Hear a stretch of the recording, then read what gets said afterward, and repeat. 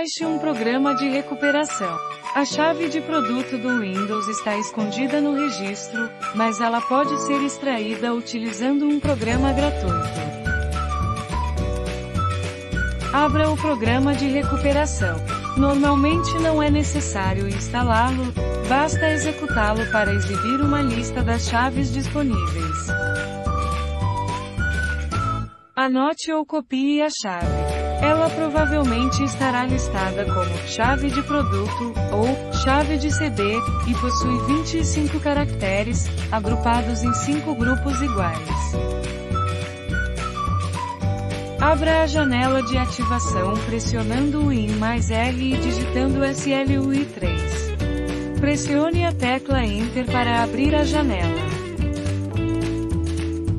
Insira a chave. Não é necessário digitar os traços, pois eles serão adicionados automaticamente.